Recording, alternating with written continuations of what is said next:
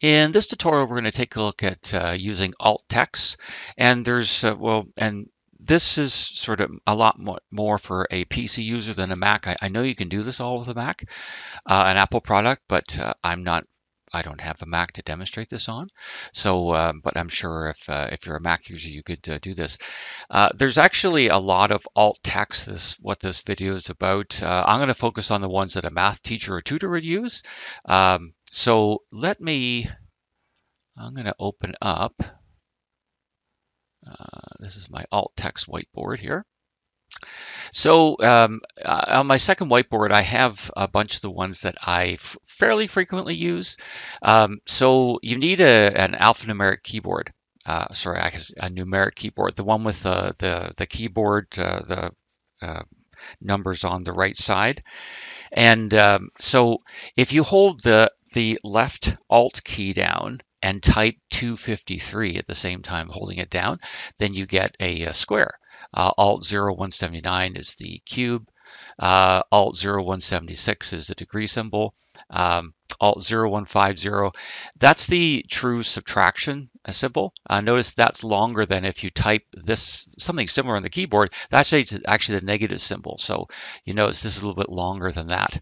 Um, uh, here's the uh, less than or equal to, greater than or equal to signs, plus or minus. Pi, we use pi a lot in geometry formulas, so alt 227 is pi, etc. So there's a whole bunch of them. Uh, there's a bunch of fraction ones too. I don't use those a lot, but there are times when you'd like to be able to use those. So let's go over here.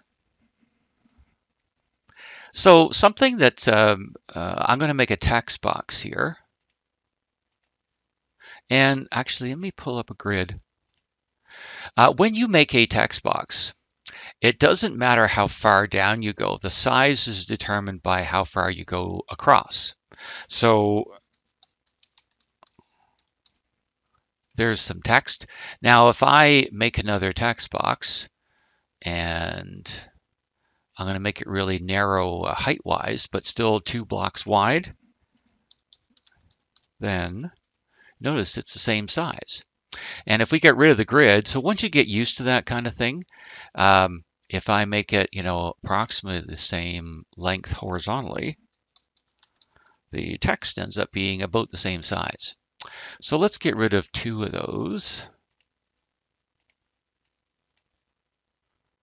And go back in here. Actually, uh, I'm going to show you the student. Uh, I'm connected to a student now. So notice that, okay, the student sees my text boxes. I've clicked outside of it. So I'm going to edit this. And so for the uh, the subtraction symbol, I'm holding the Alt key down, typing 0150, and I get that. So let's say, and I'm going to do square. So Alt 253 for the square. Now, uh, I'm going to bring the student one back here. Uh, here we go. So notice that the student doesn't see my edit yet because of the fact that I haven't clicked outside of the text box. So remember, that's the case. So when I click here, and of course the student one disappears, I'll just bring it back. The student can now see uh, the same thing I have in there. Now, one of the things that the uh, uh, using alt text is good for is, and I use uh, Control C, Control V. Control C is copy, Control V is paste.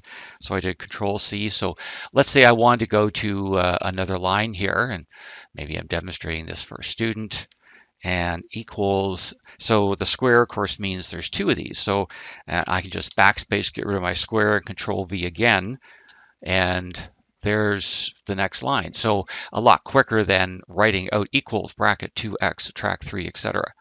Okay, so uh, um, the nice thing about text box is you can do stuff fairly quickly.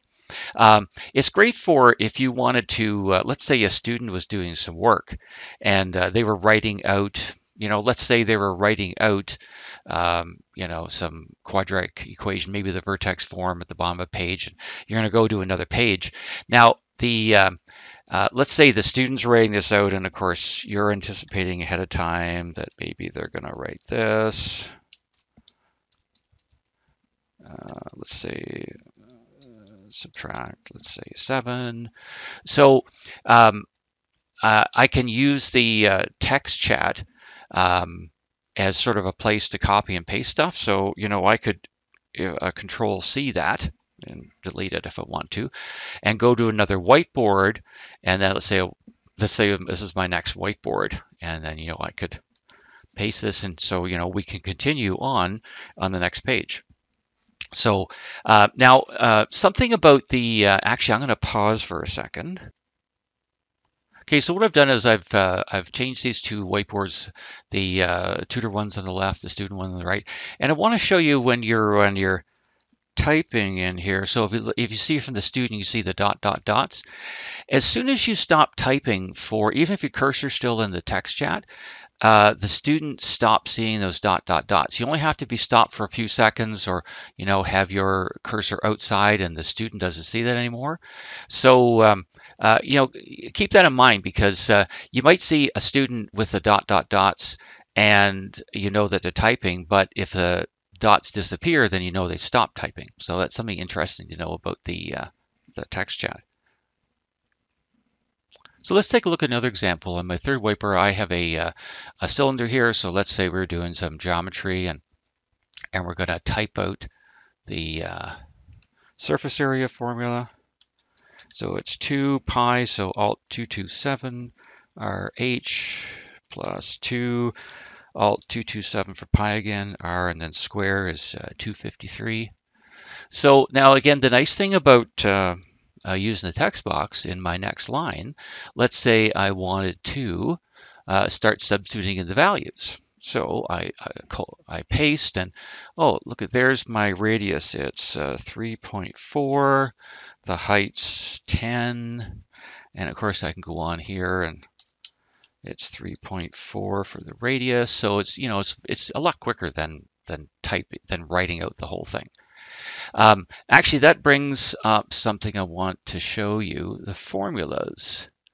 If you go, um, there we go. If you go into, um, and actually maybe I'll open this up from my uh, image bank just a second here.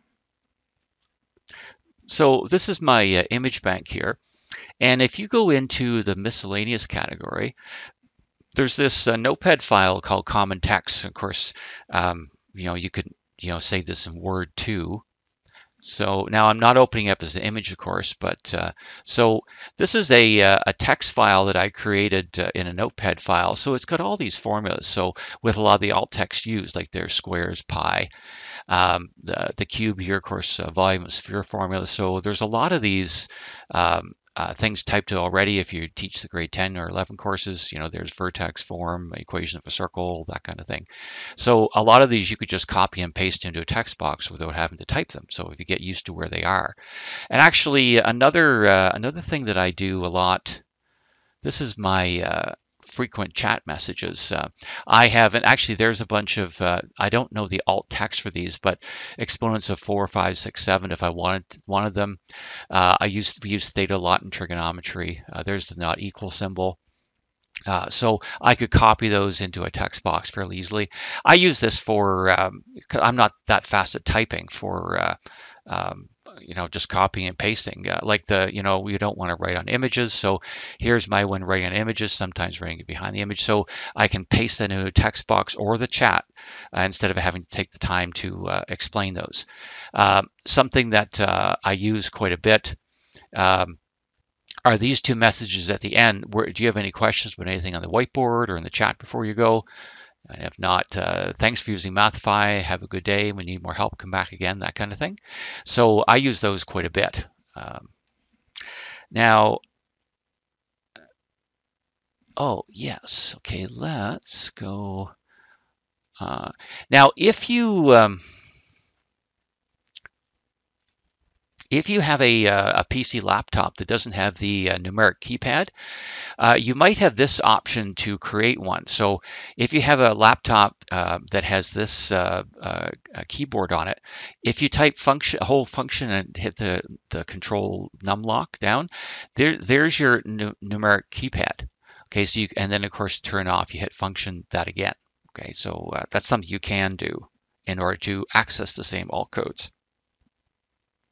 So there are uh, uh, there's a lot of use to remember. I actually just keep a little sticky note with uh, a lot of those uh, these alt codes on them, and there's a lot more than this.